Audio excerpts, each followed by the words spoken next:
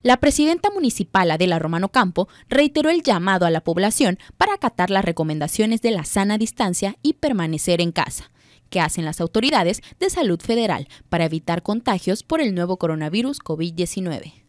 La alcaldesa instruyó además al personal médico y operativo del gobierno municipal a fortalecer las acciones preventivas para generar conciencia entre la población. A su vez, reiteró el llamado a los empresarios y comerciantes a cerrar los establecimientos que expeden artículos no esenciales para contribuir en la campaña de conciencia social cuando estamos a unos días de iniciar la tercera fase de la pandemia en México.